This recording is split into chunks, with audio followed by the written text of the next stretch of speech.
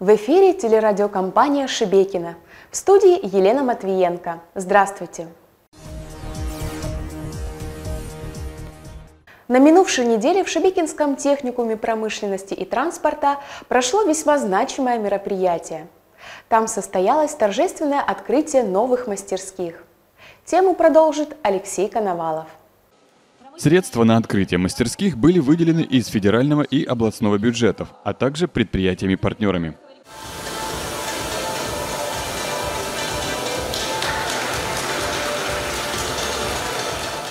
А если подробнее, то еще в 2019 году техникум был включен в программу капитального ремонта, а годом позже техникум выиграл грант федерального проекта «Молодые профессионалы» в рамках национального проекта образования на общую сумму более 67 миллионов рублей, 45 из которых средства федерального бюджета.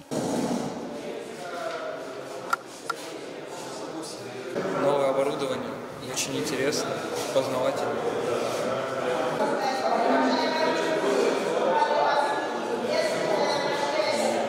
Мастерские по направлению промышленные инженерные технологии отвечают самым современным стандартам и требованиям. А, мы очень рады, что у нас появилось такое оборудование, такие цеха, где ребята могут э, наглядно видеть, э, что нужно делать, как нужно делать. У нас есть компьютеры, стимуляторы, пультовое управление для станков. Э, ребята на компьютере могут изучать программирование, как сейчас у нас происходит где они могут э, применять уже свои навыки, которые мы изучили с ними на теории.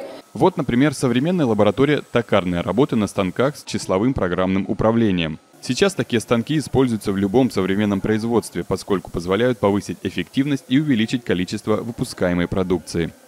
А это уже цех промышленной механики и монтажа. Здесь ведется подготовка специалистов по установке, ремонту и демонтажу промышленных машин. Прохожу практику техническому обслуживанию, ремонту автотранспортных средств. Здесь мы учимся э, технике безопасности на рабочих местах, э, также оборудование на рабочих местах, операции, например, как э, заточка, разметка по металлу. Мы выполняем эскизы по заданной детали, учимся пользоваться измерительными э, инструментами, и вот видите, у нас здесь очень все удобно под рукой. Инструменты и учебники у нас есть. И детям очень нравится. Они заинтересованы. И обстановка такая позитивная. После познавательной экскурсии по новым мастерским мероприятие продолжилось в обновленном актовом зале техникума. Сегодня хочется высказать слова вам благодарности, особенно те, кто принимал активное участие в ремонте, выделении денежных средств. Вот. И, конечно, бы хотелось поблагодарить администра... областную администрацию в лице Людмилы Тимофеевны за оказанное содействие вот, в ремонту и обновлению техникума. Конечно, губернатору нашему, за добросовестный труд, высокие достижения в работе и за реализацию федерального проекта «Молодые профессионалы» на территории Шебекинского городского округа работникам техникума и коллективам предприятий были вручены благодарственные письма. Аналогичное мероприятие состоялось и в Шебекинском агротехническом ремесленном техникуме, который также стал победителем конкурсного отбора на предоставление гранта из федерального бюджета в рамках федерального проекта «Молодые профессионалы» национального проекта образования. Атмосфера праздника чувствовалась еще до начала мероприятия. Открыли торжество студенты техникума танцем «Время вперед».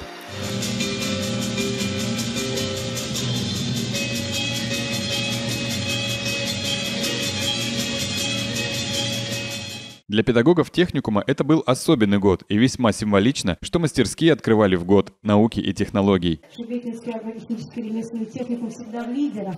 Хоть Волскилс мы возьмем, всегда здесь чемпионы, да, с золотыми медалями, с медальонами. Всегда у нас Обилимпикс, замечательные всегда лидеры и звезды наши, да, и до сих пор учатся некоторые победители этих чемпионатов. Поэтому я уверена, что наши уважаемые педагоги знают, как научить лучшего специалиста, как сделать лучшего рабочего, который ну, будет самым-самым крутым. Благодаря открытию мастерских у студентов техникума появилась возможность совершенствовать свое мастерство по четырем компетенциям – сухое строительство и штукатурные работы, кирпичная кладка, электромонтаж и ландшафтный дизайн. Теперь Шебекинский агротехнический ремесленный техникум оснащен самым высокотехнологичным оборудованием. Именно такое оборудование установлено на всех современных предприятиях. Фирма КНАУФ производит строительные материалы и вкладывает инвестиции в обучение в России. Почему?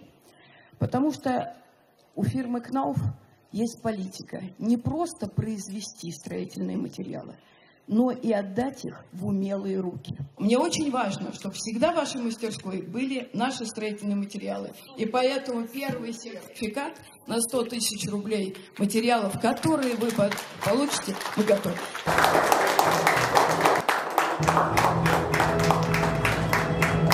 А сейчас мы приглашаем почетных гостей пройти на экскурсию по мастерским. Вы видите, какое разнообразие новых, э, современных Э, средств малой механизации, которые пришли в наше учебное заведение.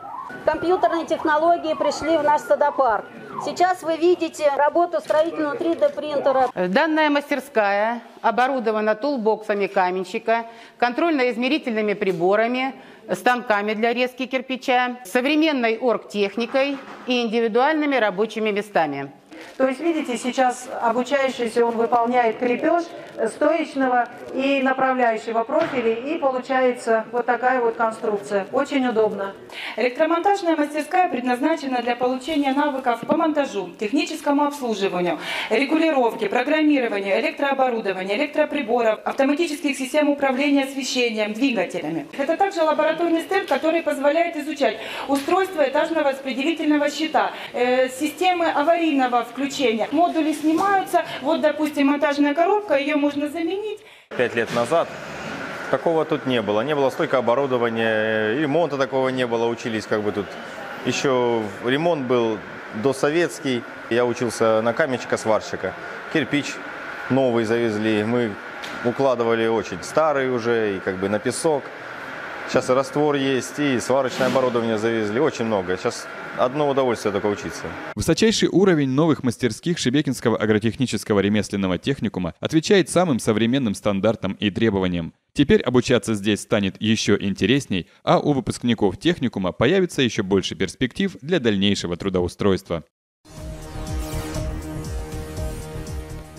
В Центре культурного развития состоялось мероприятие, посвященное областному дню мастера. Участники праздника смогли ознакомиться с творчеством своих коллег-мастеров декоративно-прикладного творчества Шебекинского городского округа. Подробнее о мероприятии в репортаже Зои Войтовой.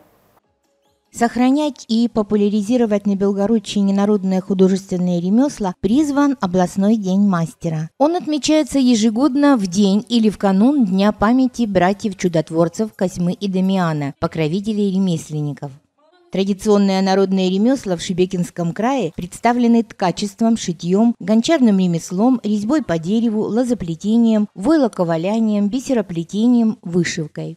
В настоящее время в Шебекинском округе художественными ремеслами занимаются более 70 мастеров. Среди них есть выпускники средних специальных учебных заведений и мастера, самостоятельно постигавшие азы ремесла. И это не помешало им стать настоящими профессионалами своего дела. 12 ноября в Шебекинском центре культурного развития состоялся настоящий праздник рукоделия. В праздничном зале расположилась выставка, представляющая работы лучших мастеров декоративно-прикладного творчества Шебекинского городского округа. Когда вас еще никого не было в зале, я зашла, я была изумлена, честное слово, это какой-то волшебный город. Это ваша работа. Это ваше то добро, которое вы несете в жизнь, которое делитесь вместе с нами. Огромное вам за это спасибо вы успешно справляетесь со своей первоочередной задачей. Это, конечно же, сохранение, популяризация народных ремесел. Это сохранение народной культуры, народных традиций. Вы постоянно их приумножаете. Все приглашенные на праздник мастера были награждены грамотами и дипломами за их труд и бесценную передачу опыта. День мастера ежегодно предоставляет участникам прекрасную возможность узнать много нового о народном творчестве Шебекинского края, освоить азы некоторых ремесел, полюбоваться произведениями мастеров и познакомиться с местными умельцами. Для мастеров это еще и день общения с посетителями и коллегами, возможность увлечь своей работой, прежде всего детей и молодежь, выслушать благодарность за свой труд. Праздничного настроения участникам праздника добавили концертные номера.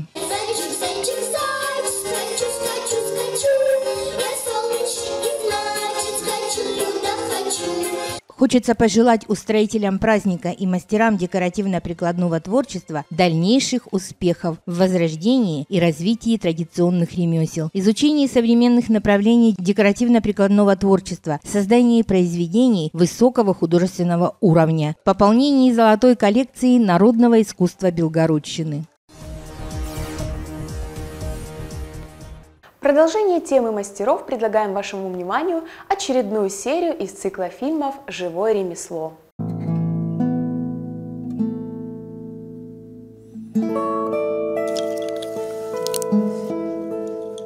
Кружевоплетение на коклюшках – это процесс создания кружева путем переплетения нитей с помощью коклюшек и один из популярных и красивых жанров декоративно-прикладного творчества – Плетение кружев – это кропотливая работа, требующая усидчивости и терпения, аккуратности и, конечно, много времени.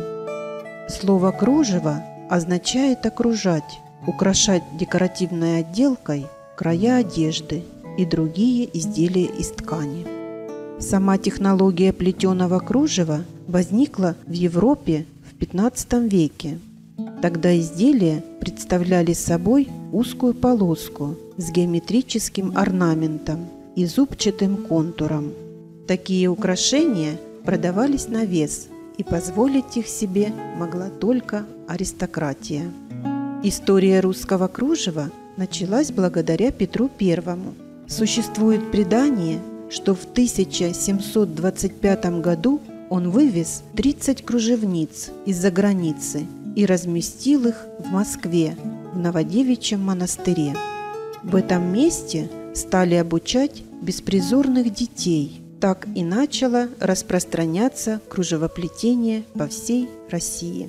В конце XVIII века кружева плели из серебряных и золотых нитей. Своим мерцающим блеском они напоминали ювелирные изделия. Мастерицы плели кружевные оборки – Ими обрамляли вырезы декольте, они выглядывали из рукавов и использовались для декорирования краев полотенец и носовых платков. Постепенно стал вырабатываться особый традиционный узор. Кружевницы произвели революцию в плетении. Они начали создавать изделия произвольной формы, сцепляя орнаменты друг с другом. История старинного русского кружева развивалась. Используя простые инструменты, деревянные палочки и нити, мастерицы изображали на ажурном полотне всю прелесть российской природы. Это стало его главной ценностью. Кружевоплетение в России отличалось оригинальностью и самобытностью. В начале XIX века в России начался стремительный рост кружевного промысла. Фабрики начали открывать не только в городах, но и небольших селах и деревнях. И на работу хозяева нанимали обычно крепостных мастериц. В тот период все кружевные изделия изготавливались вручную. Они имели оригинальные узоры – скатерти, занавески, подушки, одежды и другие предметы пользовались большим спросом. В дореволюционной России центрами кружевного промысла были Вологодская, Елецкая, Вятская, Тульская, Нижегородская, Московская земли. Из крестьянского ремесла оно превратилось в артельное производство – когда кружевные воротники и манишки вошли в моду у дворян и купцов. Но популярными с традициями стали два города – Вологда и Елец. В результате основными видами русского кружева стали Елецкая и Вологодская. В Вологде отличительная особенность кружева – это плотная тесьма узора, так называемая велюшка, а любимый орнамент – снежинка с белой опушкой. Елецкое кружево со своим характером – это растительный и геометрический узор, выполняют в основном сеткой. Несмотря на некоторые различия в стилях, во всех школах русского кружева – есть похожие мотивы, узоры и орнаменты. Некоторые из них имеют определенную символику, но чаще всего в русском кружеве встречаются растительные мотивы, характерные для родных краев деревья, цветы, ягоды. Нередко среди орнамента русского кружева можно было встретить узор в виде листьев дуба. Русские кружевницы любили создавать великолепные узоры в виде птиц, таких как лебедь, павлин, жар-птица, Возможно, главной причиной, по которой мастерицы так любят обращаться именно к этим птицам, их роскошное оперение. Из этих и других мотивов и символов появляются узоры, которые теперь стали неотъемлемой частью кружевного искусства.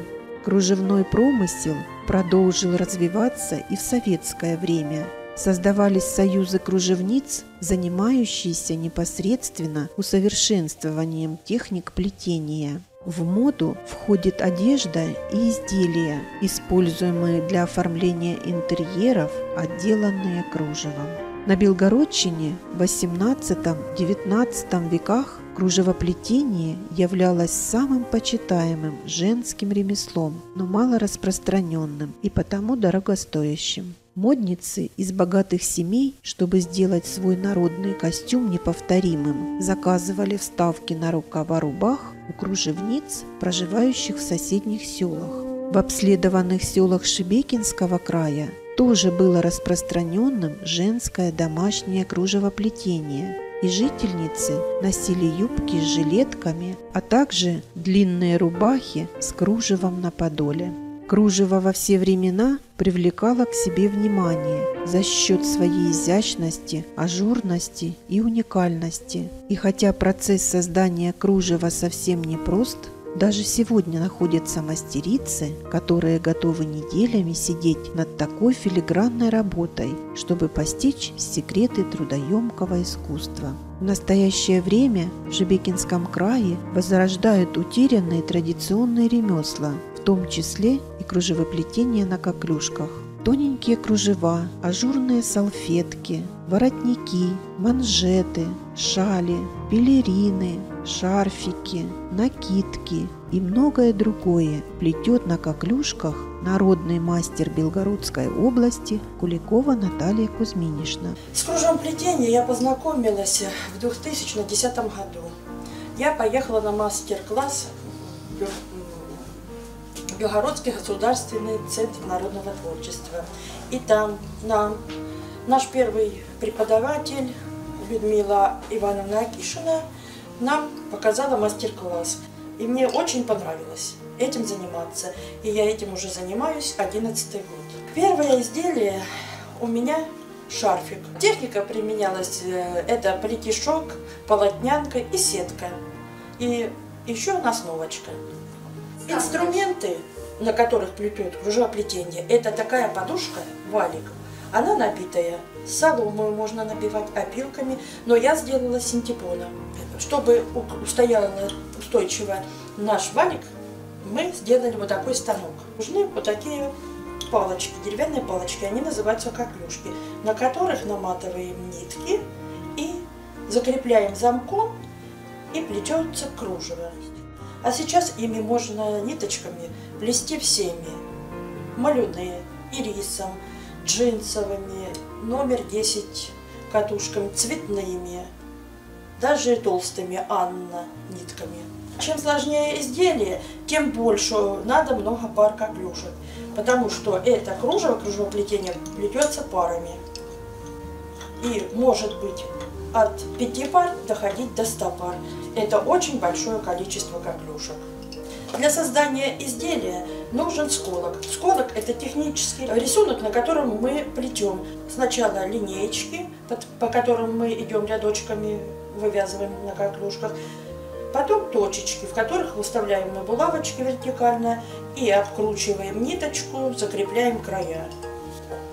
Также для плетения нужен крючок, очень маленький, 0,5 см или 0,75 Булавочки нужны нам. В кружевое плетение входит несколько разновидностей техники. Это вологодское. Вологодское кружево выплетается ленточкой. Вот она идет. А э, елецкое кружево, это идет сеточкой. А потом эту технику мы э, елецкую и вологодскую соединяем, и у нас получается вот такое изделие. Самое сложное изделие у меня вот скатерть. Я ее плела 9 месяцев. Она у меня составляла из 12 частей. Потом я ее аккуратночко сшивала крючком, и у меня вот такая получилась скатерть. Но вязать на барабане на вот таком это сложно. Я разделяла на 12 частей и по частям выплетала вот на этом барабане, потом сшивала крючком. Свой барабан я могу взять куда угодно. Я езжу с ними на фестивале, провожу мастер-классы с, дет с детками, со взрослыми. Это, конечно, работа кропотливая. Нужно здесь и внимательность, и усидчивость. Каждое кружево уникально. Даже выполненные по одному сколку кружева приобретают индивидуальность. Это всегда ручная работа, которую вложена частичка души мастерицы.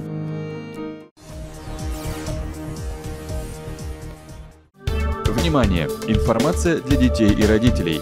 Театр «Дефиле. Моделька» Модельного дворца культуры объявляет набор детей от 4 до 10 лет. В программе занятий постановка подиумных композиций, сценическая пластика, участие в различных мероприятиях, конкурсах и фестивалях. Основы дефиле.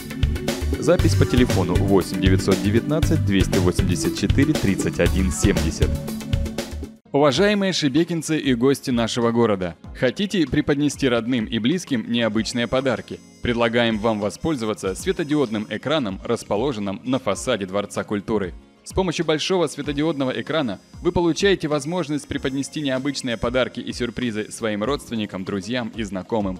Разместите поздравления с днем рождения, с праздником, оригинально признайтесь в любви или поздравьте босса с уходом на пенсию – Представьте, насколько приятно может быть вашей семье, друзьям, коллегам или давним знакомым увидеть персональное поздравление именно от вас. Ваши поздравления на светодиодном экране увидят все шебекинцы, а мы всегда рады сотрудничеству. За справками обращаться по адресу улица Московская, 19 или по телефону 5 42 03. Уважаемые шебекинцы, в муниципальном дворце культуры на радость самодеятельным артистам и всем жителям Шебекинского городского округа появилась и уже успешно функционирует профессиональная, оснащенная современной аппаратурой студия звукозаписи. В совокупности с профессиональным оборудованием и ответственным подходом к работе все это даст качественное звучание и позволит решать самые сложные задачи и воплощать самые дерзкие проекты. Для многих сделать студийную запись очень проблематично. Мы приглашаем всех желающих воспользоваться услугами нашей студии. Здесь имеется высококачественное оборудование для записи вокальных и музыкальных партий инструментов, последующего их сведения и мастеринга композиций. Опытный звукорежиссер с высокими профессиональными навыками Константин Крючков поможет вам качественно сделать аранжировку песни во всех музыкальных жанрах, учитывая при этом современные тенденции музыкального рынка и ваших пожеланий. За консультацией обращайтесь в нашу студию звукозаписи. Подробная информация по телефону Дорогие шибекинцы, вы подали заявление в ЗАГС, теперь точно известен день и время счастливого мгновения. Мы очень рады за вас и предлагаем основной пакет услуг торжественной регистрации бракосочетания в модельном дворце культуры. Праздничная атмосфера, просторные залы с высокими потолками, колонны, большие окна, дизайнерское оформление. Скользя по паркету, вы будете чувствовать себя королем и королевой на настоящем балу. К услугам любящих сердец. Встреча молодых в нижнем фойе. Проведение регистрации работниками ЗАГС. Сопровождение торжественной церемонии бракосочетания камерным оркестром. Живое исполнение величальных песен фольклорным коллективом. Видеосъемка торжественной регистрации брака. Фотосессия молодоженов и гостей по дворцовом интерьере. Уверяем, что вы не будете разочарованы. Ждем вас в стенах модельного дворца культуры. Собираетесь в путешествие? Ничего не забыли? А как же загранпаспорт? Как его оформить? Какие для этого нужны документы? Брать справку на работе? А куда потом идти? И как можно оплатить? Тут недолго и растеряться. Хорошо, что есть электронные госуслуги. Теперь вы сможете подать заявление на получение загранпаспорта, не выходя из дома. На портале вся процедура подачи не займет много времени. Все, что необходимо, это заполнить удобную форму заявления на получение или перевыпуск загранпаспорта, а проверка данных пройдет автоматически. О готовности паспорта вы узнаете благодаря уведомлению и никаких очередей. Теперь осталось только забрать паспорт в отделении ФМС. Госуслуги проще, чем кажется.